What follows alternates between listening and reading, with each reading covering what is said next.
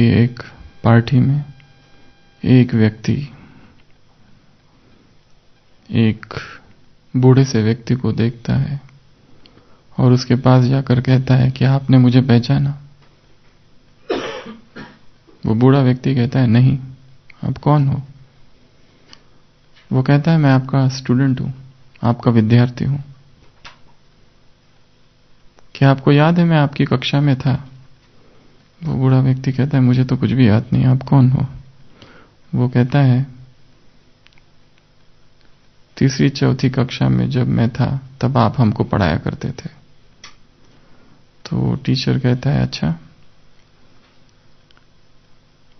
वो व्यक्ति कहता है कि, आपको याद है कि मैंने एक घड़ी चोरी की थी?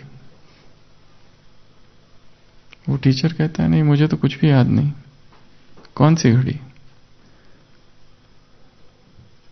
वो व्यक्ति कहता है, मैं आपको बताता हूँ, एक बार जब आप स्कूल में पढ़ा रहे थे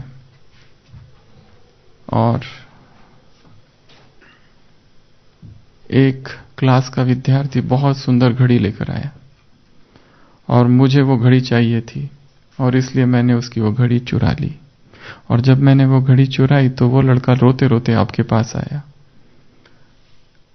और फिर आपने सबसे पूछा कि किसने घड़ी ली है? तो सब चुपचाप थे। फिर आपने कहा था कि मैं सबकी तलाशी लूँगा और सबको दीवार की तरफ़ खड़ा किया और आपने सबके जेब तलाश किए। और जब आपने मेरी जेब में हाथ डाला था और वो झड़ी घड़ी आपको मिली, आपने कुछ नहीं कहा था, चुपचाप आपने वो घड़ी निकाल ली और बाद में उस लड़के को वो घड़ी दे दी, बिना ये बताए कि ये घड़ी किसकी जेब में से मिली। मैं तो इतना डर गया था कि आज सबके सामने मेरी बदनामी हो जाएगी, सब लोग मुझे चोर कहेंगे, सब लोग मुझे झूठा कहेंगे। यदि आपने वो बात कह दी होती, और ये कलंक मेरे जीवन भर मेरे साथ चलता, पर आपने चुपचाप मेरे जेब से घड़ी निकाली और बाद में उस लड़के को दे दी। इसलिए मुझे आप अब तक याद हो। इसलिए मैं आपको भूला नहीं हूँ। वो शिक्षक वो टीचर वो बुज़ुर्ग व्यक्ति कहता है मुझे ये याद नहीं है कि मैंने किसके जेब से घड़ी निकाली थी क्योंकि मैंने अपनी आँखें बंद कर रखी थी जब मैं हरेक के जेब की तलाशी ले रहा था। तो,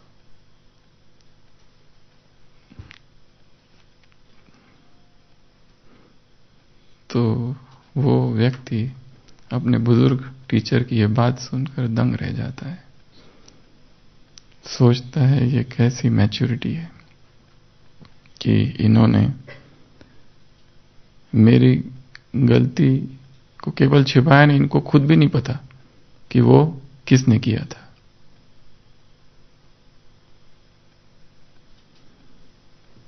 बाबा कहते हैं, तुम्हारा स्वभाव धीरे धीरे कैसा हो जाए, परिपक्व हो जाए। तुम्हारा स्वभाव, तुम्हारी चलन तुम्हारी नेचर कैसी हो जाए धीरे धीरे उसमें मैच्योरिटी आने लगे। और जब आध्यात्मिक पुरुषार्थ करते करते आध्यात्मिक पथ में, इस रूहानी राह में व्यक्ति इस तरह की मैच्योरिटी तक पहुँचता है, तब उसमें एक गुण प्रकट होता है, और वो गुण है स्वीटनेस, और वो गुण है मधुरता। अव्यक्त मूल्यों में बाबा ने कहा है, मधुबन निवासियों से मुलाकात कि ये मधुरता का गुण किसका नाम बाला करेगा? मधुसूदन का नाम बाला करेगा। 85 की अव्यक्त वाणी है। क्रिसमस की। क्रिसमस अर्थात किशमिश डे और किशमिश अर्थात मधुरता का दिन। मधुरता वह विशेषता है जिससे कैसी भी भूमि हो, उसमें क्या होगा? बंजर भूमि हो, कठोर भूमि हो, वो बीज बोया जा सकता है।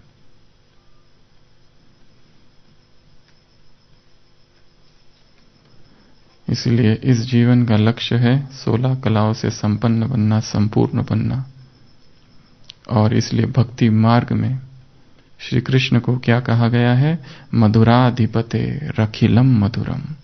हे मधुरता के ईश, हे मधुरता के देवता, हे मधुरता के स्वामी, तेरी हर बात, तेरी हर चीज़, तेरा सब कुछ कैसा है?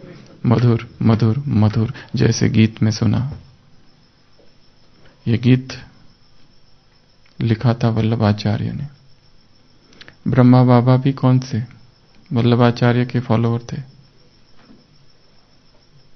पुष्टि मार्ग जिसको कहते हैं, अद्वैत, शुद्ध अद्वैत। और शंक वल्लभाचार्य इस सृष्टि चक्र में एक ऐसे व्यक्तित्व हुए हैं। कभी कभी ऐसा लगता है ब्रह्मा बाबा का एक जन्म शायद वल्लभाचार्य का था। ये जो वल्लभाचार्य है, ब्रह्मा ही होगा। क्योंकि वल्लभाचार्य द्वैतवाद या फिर अद्वैतवाद के थोड़े विरुद्ध थे। उनका मार्ग था भक्ति का। वो सन्यासी नहीं थे। सन्यासी तो होना चाहते थे, पर गुरु ने कहा था, गृहस्थी बनो। तो घर गृहस्थी में रहते हुए भक्ति भाव से केवल एक ही की भक्ति की, कृष्ण की। कृष्ण को ही देखना, कृष्ण की ही भक्ति, कृष्ण का ही बाल रूप, कृष्ण का ही सखा रूप। हर तरह से केवल कृष्ण, कृष्णमयी जीवन था। वैसे तेलुगु परिवार से थे, पर जन्म काशी में हुआ। पर वो समय वो था जब मुसलमानों का आक्रांतकारी रूप था भारत पर। कन्वर्शंस चल रहे थे फोर्सफुल बदल रहे थे मुसलमान हिंदुओं को। तब कहीं जाकर उस समय उनका जन्म हुआ। इसलिए उनके पिता जो थे, वो काशी से उनको चुपचाप लेके गए उधर बिहार, चंपारण, और वहाँ उनका जन्म हुआ। और एक महत्वपूर्ण बात जुड़ी हुई है कि उनके जो बहुत पूर्वज थे दादा परदादा उनमें से कोई एक, उनको ऐसा साक्षात्कार हुआ था कृष्ण का कि जब तुम दो यज्ञ पूरे कर लोगे, तुम्हारी, तुम्हारा वंश, तब मैं तुम्हारे कुल में जन्म लूँगा। और ये जो इनके पिता होते, लक्ष्मण भट्ट, इन्होंने सौ यज्ञ पूरे कर लिए थे, इनके आने तक, पूरी वंश में। और तब उसकी माँ को साक्षात्कार हुआ था मतलब वल्लभाचार्य की, कि मैं आ रहा हूँ, ऐसा श्री कृष्ण ने कहा।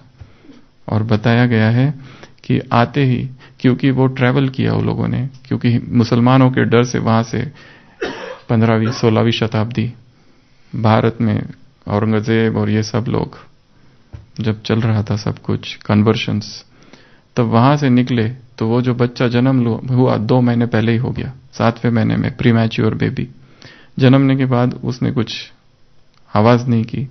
लोगों को लगा मर गया। वो माँ ने एक झाड़ के नीचे जाके रख दिया। और फिर उसको वो स्वप्न आया कि मैं आया हूँ।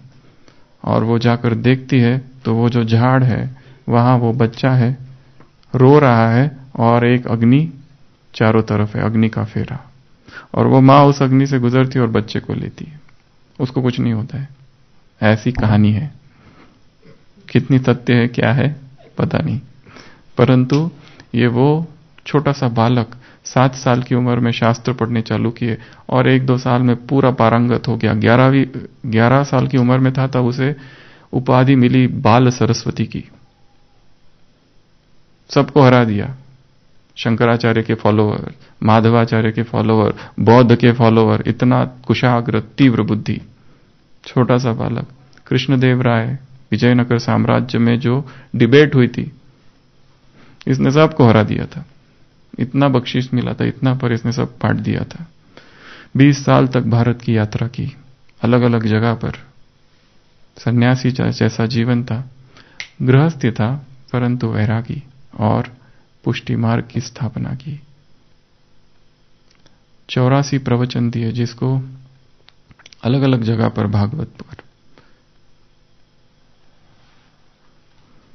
तो ऐसी ये महान आत्मा द्वारा रचित जो गीत अभी हमने सुना, वो है, जिसमें श्री कृष्ण की महिमा है, जिसे सोलह कला संपूर्ण कहा गया है, और वही हमें भी बनना है। अधरम मधुरम। हे कृष्ण, हे गोविंद, तुम्हारा, तुम्हारे अधर, होठ कैसे है? मधुर। वदनम मधुरम, तुम्हारा चेहरा कैसा है? मधुर। नयनम मधुरम, तुम्हारे नयन कैसे है? मधुर। हसीतम मधुरम। तुम्हारा हंसना कैसा है? मधुर।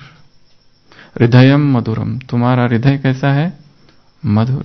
गमनम मधुरम। तुम्हारा गमन करना, घूमना, चलना, फिरना कैसा है? मधुर। मधुराधिपते रखिलम मधुरम। अधरम मधुरम। वदनम मधुरम। नयनम मधुरम। हसितम मधुरम। हृदयम मधुरम। गमनम मधुरम। तो होठ, मधुबन निवासी अर्थात जिनके मुख से क्या निकले? मीठे बोल। अव्यक्त वाणी है बाबा की, जिसमें कई बार बाबा ने कहा है, मधुबन से मुलाकात नाइन्थ इलेवन सिक्सटी नाइन, अव्यक्त मुरली। मधुबन के निवासियों के दो विशेषताएँ कौन कौन सी? मधु अर्थात, मधुर था, वन अर्थात वैराग्य। तो तुम्हारे बोल भी कैसे हैं? मधुर। तो मधुर होठ अर्थात उनमें से क्या निकला हो? मधुर। रस टपक रहा है उसमें से। शहद टपक रहा है। पर कोई कोई है जहाँ से विष भी टपक रहा है। हम्म? तो सबसे पहले ब्राह्मण जीवन की सबसे बड़ी धारणा बाबा ने कहा, मधुरता है।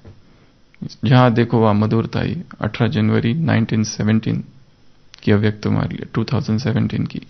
जिसमें बाबा ने कहा, देखो कितना बड़े संगठन है, देखो कितना बड़ा परिवार है, बेहद का परिवार आया हुआ है, यहाँ भी आए है, वो भी आया है, फलाना भी आया है, फलानी भी आई है। कैसा बेहद का परिवार है? यहाँ पर जहाँ देखो, वहाँ मधुरता है। तो होठ, अर्थात मुख से निकलने वाले शब्द कैसे हो? मधुर। चेहरा मधुर, अर्थात चेहरे पर क्या हो? उदासी नहीं, दुख नहीं। अरे, तुमको मिला कौन है? कल की वाणी में है, तुम कैसे अमूल्य रतन हो? अविनाशी अमूल्य रतन हो। कैसे रतन हो? सारे दुनिया के रत्न, सारे दुनिया के खजाना एक तरफ़ और तुम एक तरफ़। तुम्हारा पलड़ा भारी है। तुम ऐसे अविनाशी रतन हो, तुम ऐसे अमूल्य रतन हो। तो तुम्हारे मुख में उदासी, तुम्हारे मुख पर उदासी, अवसाद, गम, गमगीन चेहरा, दुखी चेहरा, चिंतित चेहरा नहीं हो सकता।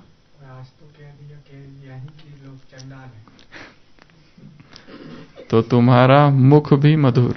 तीसरा, तुम्हारे नयन मधुर। क्यों नयन मधुर है? क्योंकि ये नयन क्या देखते हैं? आत्मा को देखते हैं। हमने कल की क्लास में, परसों की क्लास में चिंतन किया था। भाई किसी बहन को देखे तो क्या देखे? नव रूप देखे उसके। वो ज्योति है परम धाम की। वो आत्मा भाई है।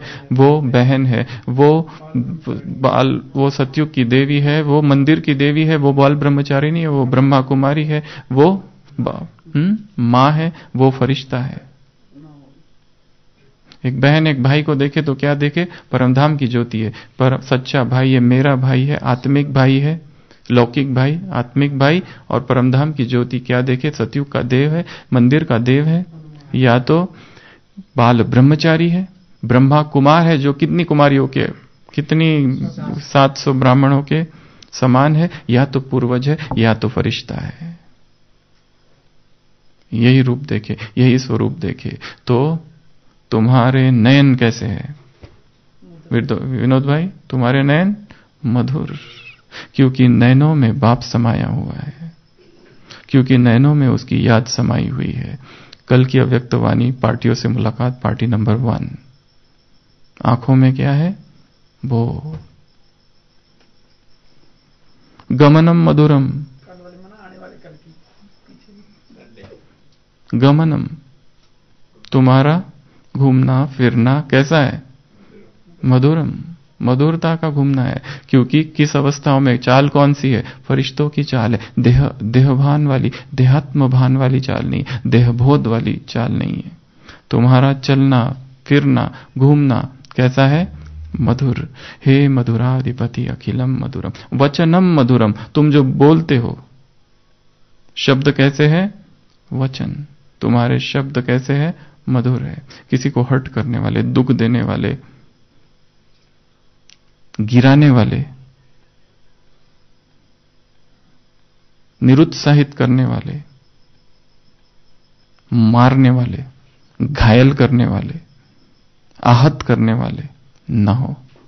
तुम्हारे वचन कैसे है? मधुरम, चरितम मधुरम। तुम्हारा चरित्र कैसा है? मधुर। आज की मुरली में है, मीठे बच्चे, सबसे बड़ा श्रृंगार कौन सा है? पवित्रता ही सबसे बड़ा श्रृंगार है। पवित्र धाम, कल की अव्यक्त वाणी। पवित्र धाम। परमात्मा की दृष्टि, परमात्मा की सृष्टि तुम पर पड़ी है। तो क्या हो गया? तुमको याद आई है पवित्रता की। वचनम मधुरम चरितम मधुरम तुम्हारा चरित्र कैसा है? मधुर। क्यों मधुर है? क्योंकि उसमें प्यूरिटी है। जहाँ प्यूरिटी है, वही मधुरता है। संसार में कितने भी बड़े बड़े पर्सनैलिटीज व्यक्तित्व हो, परंतु वहाँ प्यूरिटी नहीं है, इसलिए चरित्र भी नहीं है।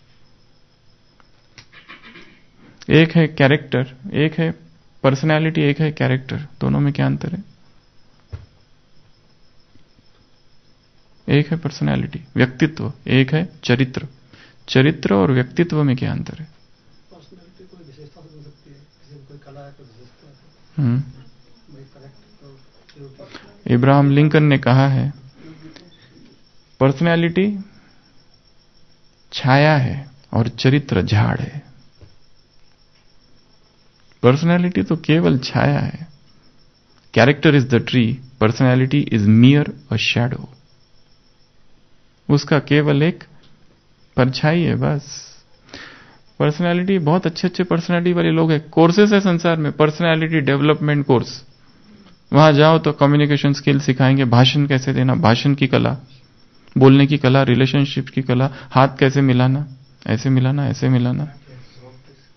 हाँ? सॉफ्ट स्किल्स दस प्रकार की सॉफ्ट स्किल्स वो सब कुछ सिखाया जाता है वहाँ पर वो सिखाया जाता है। पर भगवान पर्सनैलिटी बनाने नहीं आया भगवान किस लिए आया है? कैरेक्टर सुधारने आया है। हाँ, अगर पर्सनैलिटी बनाने आया तो रूहानी पर्सनैलिटी बनाने आया है।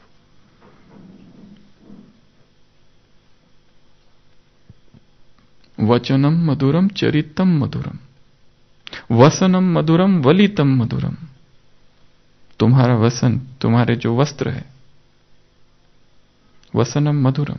कैसे है तुम्हारे वस्त्र? पवित्र। तो हमारे वस्त्र भी कैसे होने चाहिए? पवित्रता से लबरेज, युक्त, पवित्रता से भरपूर। ऐसे वस्त्र ना हो जो किसी को हमारे पीछे दीवाना ही बना दे।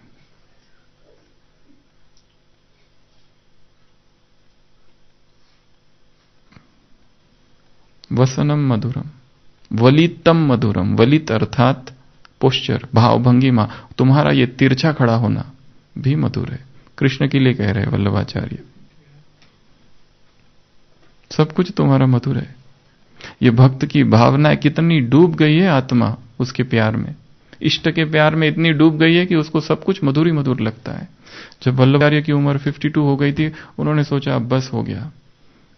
जीवन के अंतिम सात दिन सबसे अपने आप को अलग कर लिया। और निरंतर कृष्ण याद, कृष्ण विरह, कृष्ण प्रेम, कृष्ण पीड़ा में जलते रहे और उसी अवस्था में याद में, कृष्ण की याद में शरीर छोड़ा। लास्ट सात दिन। वसनम मधुरम। अर्थात तुम्हारे कपड़े भी कैसे हैं? मधुर, अर्थात प्योर ऐसे कपड़े ना हो। तड़क भड़क वाले। मायावी, विकारी। यहाँ का डांस कैसा है? अव्यक्त मुरली। Danger dance. मुरली थी ना? Danger dance. परसों की मुरली, ये चोला कैसा है तुम्हारा? आसुरी। ये दुनिया भी आसुरी है, तुम्हारा चोला भी आसुरी है। शरीर कहाँ पड़ा हुआ है? वैश्यालय में विषय वैतरणी नदी में पड़ा हुआ है। अगर श्रीमद तोड़ा तो रसातल में चले जाएँगे। हम्म। तो वसनम मधुरम, तुम्हारे वस्त्र कैसे हो? मधुर। वलितम मधुरम, तुम्हारा खड़े रहना। भाव भंगिमा पोस्चर कैसी हो? मधुर। चलितम मधुरम, भ्रमितम मधुरम, तुम जब चलते हो मधुर। जब तुम भ्रमण करते हो, वो भी मधुर। मधुराधिपते रखिलम मधुरम वेणुर मधुरा रेणुर्मधुर पाणी मधुर, पादो मधुरो नृत्यम मधुरम सख्यम मधुरम मधुराधिपते अखिलम मधुरम तुम्हारी जो वेणु है, मुरली मुरली कैसी है तुम्हारी? मधुर। तो तुम्हारी मुरली भी मधुर होनी चाहिए। जैसे बाप की मुरली मधुर है, वैसे तुम्हारी मुरली भी कैसी होनी चाहिए? मधुर। अर्थात हर ब्राह्मण आत्मा या मास्टर मुरलीधर है। हमारा चिंतन भी मधुर, हमारा मुरली का इंटरप्रिटेशन मुरली के शब्द, मुरली का जिस ढंग से हम समझा रहे वो भी मधुर। वेणु मधुरा। रेणु मधुर, तुम्हारे चरण रज, तुम्हारे चरणों से रज जो उड़ रही है, वो भी कैसी हो? मधुर।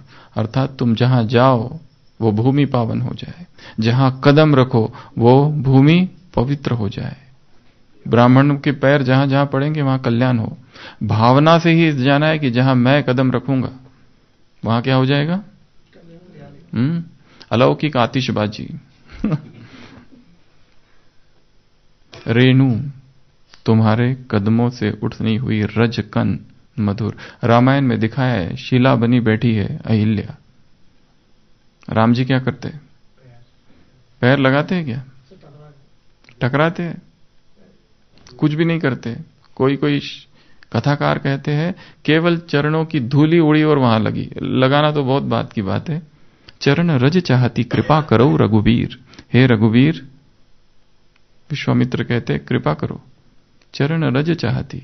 बस तुम्हारे चरणों की धूली तो पत्थर क्या बन जाए? चैतन्य, पत्थर बुद्धि क्या बन जाए? पारस बुद्धि। कल की मुरली में कहा है बाबा ने, पारसनाथ। पारस बन जाती है आत्माएँ तो तुम्हारे चरणों की रज कैसी हो? मधुर, अर्थात पवित्र, आत्माओं को पवित्र बनाने वाली। पाणी मधुर हो, तुम्हारे जो हाथ है, वो भी मधुर। अर्थात इन हाथों से कोई अपवित्र कर्म ना हो। यह हाथों से कोई पाप कर्म ना हो। यह हाथ हमेशा पुण्य कर्म ही करे। शरीर के विरुद्ध भी इंसान ना हो इस शरीर से।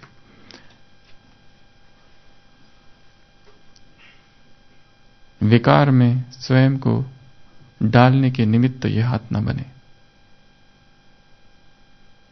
इन हाथों को भी पवित्र करना है। पवित्र कैसे होंगे हाथ? नहीं, अभी यहाँ बैठे बैठे कुछ कुछ लोग कर रहे हैं। मुरली लिखना, पॉइंट्स लिखना, क्लास लिखना ये सबसे बेस्ट है। हाथों को पवित्र करने के लिए सबसे उत्तम साधन क्या है? मुरली लिखना, स्वमान लिखना। भोजन परोसना। वो भी हो गया। हाथ से जो भी टोली देना। हाँ? योग युक्त हाथ मिलाना। अपने वाइब्रेशंस दूसरों को देना। हाथों में एनर्जी हो हीलिंग एनर्जी प्योर एनर्जी हाँ भगवान के हाथ पकड़ के रहना तो किसी के पैर पकड़ने की ज़रूरत नहीं पड़ेगी। फल, देना। बस देना अर्थात पुण्य। लेना अर्थात न्यूट्रल कुछ नहीं कुछ नहीं मिलता है। देते रहना देते रहना देते रहना। हरण कर लेना दुखों को। तो पाणो पाणी मधुर हो। तुम्हारे हाथ कैसे हो मधुर, अर्थात इन हाथों से मधुरता के कर्म हो। पादो मधुर हो। तुम्हारे पैर कैसे हो मधुर, अर्थात पैर ऐसी जगह लेके ही नहीं जाना है जहाँ अपवित्रता है। ऐसे जगह रखना है पैरों को जहाँ पर अपवित्रता है, जहाँ इंप्यूरिटी है, वहाँ लेके नहीं जाना है। सिनेमा हॉल ऐसी संसार की जगह जहाँ पवित्रता है। महात्मा गांधी जी ने अपने जीवन कहानी में लिखा है, कैसे वो बच गए और कैसे भगवान का शुक्र मनाया। वो उनका, वो मित्र जो बहुत शक्तिशाली था और उसके साथ विदेश की घटना, ये तो भारत में, विदेश में भी ऐसा ही वो दिखाया है, वो कैसे गए और वो वेश्या वहाँ बैठी थी। और एकदम से उनको पसीना आ गया और वो निकल के वहाँ से आ गए। और फिर कहा कि, हे राम, निर्बल के बलराम, उसी ने मुझे बचाया।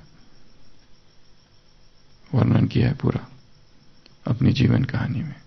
तो अपवित्र स्थान, अपवित्र जगह, ऐसे स्थान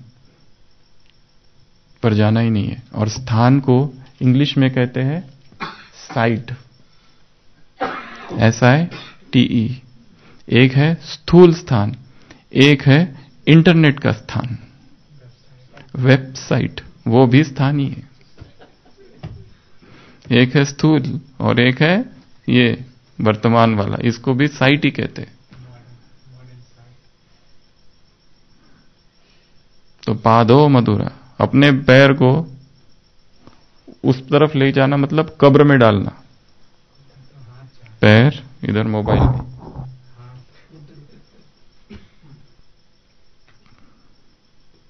मधुराधिपते, फिर नृत्यम मधुरम। तुम जो नृत्य करते हो, कौन सा नृत्य करते हो? ज्ञान डांस। तुम्हारा ज्ञान डांस जब होगा तो ही वो मधुर होगा। संसार का डांस होगा तो डेंजर डांस होगा। इसके लिए डांस करो, करते हैं फेस्टिवल्स पर, ब्राह्मण। पर कभी ऐसे डांस करते हैं कि उसमें अलौकिकता जरा भी नज़र नहीं आती। विदेशियों के डांस देखा कितनी अलौकिकता, वो रशियन करते कल्चर प्रोग्राम करते। उनके कल्चरल प्रोग्राम और हमारे कल्चरल प्रोग्राम। मधुबन की भूमि पर। चांस की बात नहीं है, यहाँ हम बात कर रहे हैं, वो भाव की, अलौकिकता की, दिव्यता की। दिव्यता होती है बहुत ज़्यादा। हमारे थोड़े ज़्यादा ही मॉडर्न एग्रेसिव हाँ? ज़्यादा बढ़ जाती है। पर वो देखा है ना रशियन बहनों के डांस जो होते हैं कितनी रॉयल्टी होती है कितनी अलौकिकता होती है उसमें। ड्रेस कैसे होते हैं? हमारे ड्रेसेस बदलते रहते हैं अजी अजी अलग अलग प्रकार के होते हैं। कभी कुछ तो कभी कुछ। एंजेलिक होता है उनका। तो नृत्यम मधुरम। तुम्हारा नृत्य भी करने वाले कोई है इधर? स्टेज पर? करते हैं ना, कन्याएँ छोटी छोटी या भाई भी करते हैं कोई कोई अच्छा। तो नृत्य भी करना है, स्थूल नृत्य तो अलौकिक हो। उसमें लौकिकता ना हो। वेशभूषा भी हो वो मर्यादा युक्त हो। अगर ड्रेस करना है, सारे ब्राह्मणों के सामने इतने सारे भाई बैठे हैं। किस तरह का ड्रेस पहन रहे चाहे कोई भी प्रोग्राम हो, चाहे मधुबन, चाहे सेवा केंद्र। ड्रेस अलौकिक हो, भाव भंगिमा अलौकिक हो, नृत्य अलौकिक हो, वो देखने के बाद किसी की बुद्धि चलायमान ना हो। वो देखने के बाद किसी में काम का भाव उत्पन्न ना हो। वो देखे तो उनको लगे फरिश्ते डांस कर रहे तो ही वो अलौकिक डांस है। नहीं तो पाप के खाते में जा रहा है वो भी। इतनी बड़ी स्टेज पर डांस किया और सबके मन में हलचल हुई। तो क्या कहेंगे? पाप हो गया ना?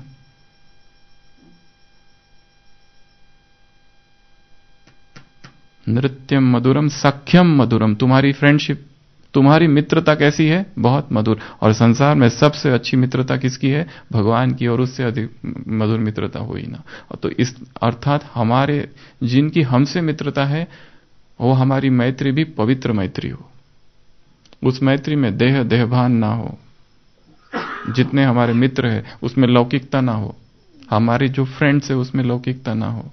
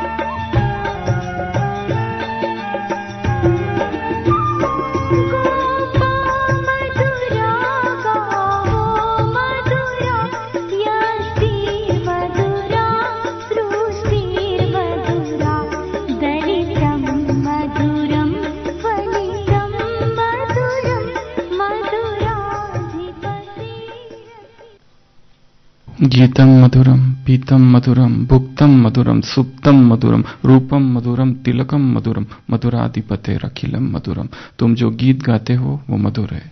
क्योंकि तुम्हारे गीत कौन से हैं? परमात्मा प्रेम के, परमात्मा याद के, तुम्हारे मुख से। विकारी गीत कभी निकल नहीं सकते। दुख के गीत नहीं निकल से, हाय, ऐसा क्यों, वैसा क्यों? मेरे साथ ही ऐसा क्यों हुआ? ऐसा क्यों हुआ, ऐसा क्या हुआ? संडे की मुरली, कल की विदेशियों से मुलाकात पार्टियों से मुलाकात, वन। बाबा ने कहा, ये सब क्यों आ रहा है? ऐसा क्यों, क्या क्यों, कैसे? हम्म? माया क्यों आई? मेरे पास ही क्यों आई? सोचो नहीं फुल स्टॉप ये गीत तुम नहीं गा सकते। गीतम मधुरम, पीतम मधुरम, तुम जो पीते हो, वो भी मधुर है। क्या पीते हम? अमृत, ज्ञान का अमृत, विष काहे को खाए? बीच बीच में विष भी पी लेते। अमृत पीना है। परमात्मा प्रेम का अमृत, ज्ञान का अमृत। भुक्तम मधुरम, सुप्तम मधुरम, तुम जो खाते हो, भुक्तम, वो भी मधुर। सुप्तम, तुम्हारा सोना भी मधुर। हमको सोता हुए कोई देखे तो क्या लगे उसको? कोई योगी सो रहा है। और कोई कोई तो ऐसा सोते आड़ा टेढ़ा। किधर से सोते और किधर से उठते हैं, पता ही नहीं चलता है। पूरा परिक्रमा कर लेते हम उठे तो बिस्तर वैसा ही हो जैसा सोने के पहले था। योगी हो जैसी नींद हो। देखने वाले को लगे कोई फरिश्ता योगी सो रहा है। स्मित मुस्कान।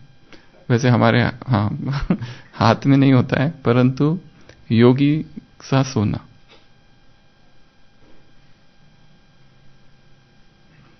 और हमारी किस सोने की वजह से किसी को डिस्टर्ब ना हो।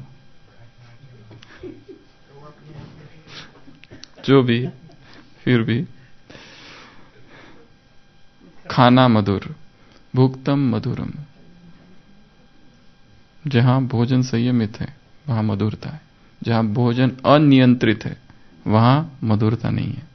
वहाँ रोग है, बीमारियाँ है। और योगी अगर बार बार बीमार पड़ते रहे तो लोग कहेंगे तुम योगी हो और बार बार फिर भी बीमार पड़ते उससे तो अच्छा हम रहे भोगी। सब खाते सब कुछ करते बाहर का भी खाते हॉस्टल रेस्टोरेंट में जाते और कभी बीमार भी नहीं पड़ते। ऐसा ही ताना हमको किसी ने दे दिया तो? मेरे तुम लोग अपना खाते हो अपने हाथ का बनाते हो और बार बार बीमार पड़ते रहते हो। और हमको हॉस्पिटल लेके जाने वाले वही है जो सब तरफ़ का खाते हैं। तो फिर क्या रही हमारी? तुम सब मन से बीमार हो तो काम हम अपने आप के बचाव के लिए कुछ नहीं कह सकेंगे। तो योगी अर्थात खाना मधुर, सोना मधुर, रूपम मधुर, तिलकम मधुर, तुम्हारा रूप भी मधुर, क्योंकि ये रूहानी पर्सनैलिटी है। तिलक भी मधुर है। स्वमान का तिलक निरंतर लगा हुआ है। स्वमान। तुम अभी स्वमान में रहते तो तुम्हारा यादगार रूप में उधर गाया जाएगा। परमात्मा दृष्टि तुम पर पड़ी है, संडे की मुरली। तुम्हारा यादगार गाया जाएगा उधर। करणम मधुरम तरणम मधुरम मतलब तुम्हारा जो कुछ करना है, तुम्हारे हर कर्म मधुर हो, अर्थात श्रीमत अनुसार हो। तरणम तुम्हारा तैरना भी मधुर हरणम मधुरम तुम्हारा हरण करना भी मधुर, तुम्हारा स्मरणम मधुरम वमितम मधुरम शमितम मधुरम तुम्हारा बोलना और तुम्हारा शांत रहना दोनों ही मधुर है। वमितम मधुरम शमितम मधुरम मधुराधिपते अखिलम मधुरम गुंजा मधुरा, तुम जो गुंजन करते हो। गुनगुनाते हो। एक है गाना, एक है बोलना, एक है गुनगुनाना। तुम्हारा गुनगुनाना भी कैसा है? इरिटेटिंग नहीं है। नहीं तो हम गुनगुना रहे हैं और दूसरों को डिस्टरबेंस हो रहा है। आजकल योग में लोग कान में वो डालते हैं ईयरफोन कमेंट्री सुनते हैं या क्लास सुनते हैं योग के समय। और वो क्लास की आवाज़ पूरे हॉल में गूंज रही है। गूंग गूंग गूंग गूंग सबको डिस्टरबेंस हो रहा है। कम से कम ईयरफोन बदलो एटलीस्ट अच्छे वाले ले लो जिससे खाली तुमको सुनाई दे। योग एक व्यक्ति कर रहा है मतलब क्लास और डिस्टर्ब सारे योग करने वाले हो रहे उसकी वजह से।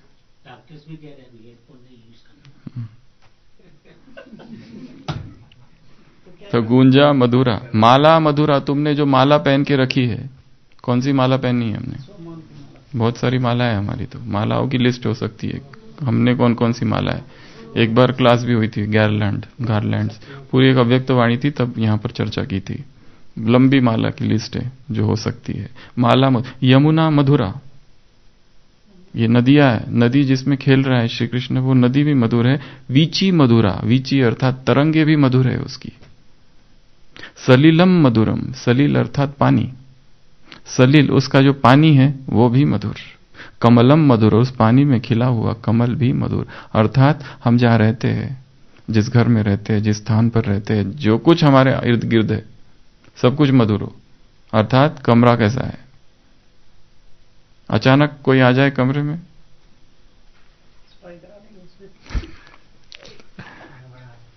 जूते कहाँ रखे हुए हैं? अलमारी कैसी है? चीज़ें कहाँ रखी हुई है? सब अस्त व्यस्त पड़ा हुआ है या ठीक ठाक है अपनी जगह पर? कोई चीज़ ढूँढने लगे तो पता ही नहीं चलता। पूरा कमरा ढूंढना पड़ता है एक चीज़ के लिए, क्योंकि कहाँ रखी है वही पता नहीं। तो मधुर नहीं हुआ ना? गोपी मधुरा, अर्थात कृष्ण जिन गोपियों के साथ खेल रहे वो गोपी भी मधुर है। लीला मधुरा जो लीला कर रहा है, वो भी मधुर है। युक्तम मधुरम, मुक्तम मधुरम, जब गोपियों के साथ युक्त है, तब मधुर है। जब उनसे मुक्त है, अर्थात अलग है, तब भी मधुर है। वो मिस नहीं कर रहा है उनको। सबके साथ है, प्यारा, और तुरंत न्यारा। उसकी आंतरिक स्थिति में फ़र्क नहीं है। छोड़ के जब जाना, जा गया तो ऐसा गया, कृष्ण दिखाया है गोकुल से, बाद में कभी भी किसी गोपी से नहीं मिला, ना ही कभी किसी को याद किया। जब उनके साथ था, तब वो पार्ट था, आगे बढ़ा, दूसरा पार्ट चालू हो गया। और आगे बढ़ा, तीसरा पार्ट चालू हुआ युद्ध का। इधर कंस का, मथुरा, द्वारिका, गोकुल। तीनों जगह, तीन अलग अलग पार्ट यहाँ का पार्ट पूरा हुआ, अब यहाँ पहुँचे, यहाँ का पार्ट पूरा, अब यहाँ। अब यहाँ आने के बाद वो सुदामा सांदी पानी के आश्रम में कृष्ण से कहता है, कृष्ण, मैंने आप, तुम्हारी बांसुरी कब से नहीं सुनी? कृष्ण कहता है, अब बांसुरी बजाने वाला कृष्ण गया, उसका पाठ पूरा हो गया। वो गोकुल में था, अब कृष्ण ने कभी बांसुरी नहीं बजाई। क्योंकि पाठ उधर था, वो पूरा हो गया। बाद में कभी भी बांसुरी नहीं बजाई। परिस्थितियों को स्वीकार कर लेना। कि तब वो पार्ट था, अब ये पार्ट है। उसको मिस करते रहना, वो पुराने दिन कब आएँगे? वो पुराने दिन कब आएँगे? तब मेरा कितना अच्छा पुरुषार्थ चालू था, अब क्यों नहीं हो रहा है? तब वो दिन बहुत अच्छे थे। वो अलग चीज़ है, बचपन के दिन बुलाना। परंतु दुखी हो रहे पास्ट में, अतीत में, माजी में जी रहे। मुस्तकबिल सामने खड़ा है फ्यूचर की कोई, उसको नहीं देख रहे। केवल पीछे, अतीत में जीना। लाशें ढो ढो के चल रहे शंकर जी जैसा, पार्वती की लाश को छह महीना घूमते फिर रहे यहाँ पर भी घूम रहे हाँ। तो वो थोड़ा पहले है उसमें तो वो पार्ट पूरा हो गया। तो युक्तम मधुरम और मुक्तम मधुरम, जब साथ में है तब भी मधुर, जब साथ में नहीं है तब भी मधुर। मधुरा, दृष्टम मधुरम, शिष्टम मधुरम, तुम्हारी दृष्टि भी मधुर है और तुम्हारी शिष्टता, तुम्हारा डिसिप्लिन्ड लाइफ भी मधुर है। वो दिखाया है कृष्ण की सोलह हज़ार रानियाँ। और एक प्रसंग ऐसा आया कि वो किसी को भेजता है उधर मथुरा गोकुल में और कहता है कि नदी से कहना अगर कृष्ण ब्रह्मचारी है तो हे जमुना मुझे राह देना। वो कहता है तुम और ब्रह्मचारी? तो सोलह हज़ार रानियाँ एक सौ आठ। ब्रह्मचारी कहाँ से हुए? तो, वो व्यक्ति जाता है और वो यमुना से कहता है अगर कृष्ण ब्रह्मचारी है तो मुझे राह देना। यमुना राह दे देती। वो सबके बीच में है, परंतु डिटैच्ड है। इसका उल्टा अर्थ नहीं लेना पर। दृष्टि मधुरा, सृष्टि मधुरम। मधुराधिपते अखिलम गोप गोपा मधुरा, गावो मधुरा। तुम्हारा जो गोप है, पहले कहा गोपी। अभी बॉय बॉयफ्रेंड गर्लफ्रेंड गोपा मधुरा, गावो मधुरा। तुम्हारा गाना भी मधुर। यष्टि मधुरा। यष्टि अर्थात तुम्हारी जो छड़ी है। गावो अर्थात गाय सॉरी गोपा मधुरा और तुम्हारी जो गाय है, वो भी मधुर। यष्टि मधुरा, यष्टि अर्थात जिस छड़ी से तुम उनको हाँकते हो, वो भी मधुर। सृष्टि मधुरा, जो सृष्टि तुम्हारी है, वो भी मधुर। दलितम मधुरम, फलितम मधुरम। दलित मतलब तुम जो विनाश करते हो, संहार करते हो, और उसका जो फल है, फलितम मधुरम। उस विनाश का जो फल है, वो भी मधुर है। भगवान इस संसार का विनाश करने आता है। और उसका जो फल होगा सतयुग वो भी मधुर। मधुराधिपते। अखिलम मधुरम। ऐसे ये आठ है। आठ श्लोक। हाँ, कहेंगे इसलिए तो कहते हैं उसको क्योंकि वो आदम खुदा के जैसा है। उसने कर्म ही ऐसे श्रेष्ठ किए हैं कि अंतिम जन्म में भी ब्रह्मा का इधर कितना गायन हुआ? क्योंकि ये जन्म किसकी महिमा है? ये ब्रह्मा की महिमा है। ऐसी महिमा क्यों हुई भक्ति मार्ग में? इतना उसको मधुराधिपति बना दिया। भक्तों ने द्वापर से, क्यों? क्योंकि ब्रह्मा ने अभी कर्म ऐसे किए, इसलिए तो वो आत्मा इतनी श्रेष्ठ नंबर वन जाकर बनी सतयुग में। तो हमें भी क्या करना है? ऐसी मधुरता अपने जीवन में लाना, ये मधुरता का की संस्कृति निर्माण करनी है। This is the culture of sweetness ये नई संस्कृति है। कौन सी संस्कृति है? मधुरता की संस्कृति है, जो मधुसूदन का नाम बाला करने वाली है। बाबा के कुछ महावाक्य है। 25 दिसंबर की मुरली 85 सभी विशेष क्रिसमस डे मनाने आए हो ना? बाप दादा किसमिस डे कहते हैं।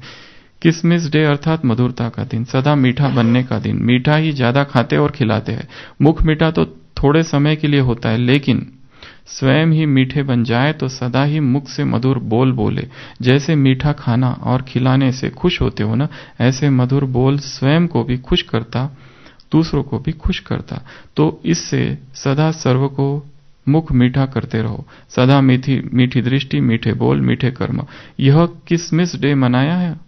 मनाना अर्थात बनना। किसी को भी दो घड़ी मीठी दृष्टि दे दो, मीठे बोल बोलो तो उस आत्मा को सदा के लिए भरपूर कर दो। इन दो घड़ी की मीठी दृष्टि बोल उस आत्मा की सृष्टि बदल दे।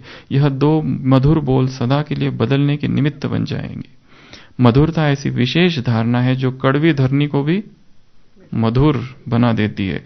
अभी सभी को बदलने का आधार बाप के दो मधुर बोल थे ना? मीठे बच्चे, तुम मीठी शुद्ध आत्मा हो। यह दो मधुर बोल ने बदल दिया ना? मीठी दृष्टि ने बदल दिया, ऐसी ही मधुरता द्वारा औरों को भी मधुर बनाओ। यह मुख मीठा करो, समझा? समझा? क्रिसमस डे मनाए, किस क्रिसमस डे? सदा इस सौगातों से अपनी झोली भरपूर कर ली। सदा मधुरता की सौगात को साथ रखना। इसी से सदा मीठा रहना और मीठा बनना। ओम शांति।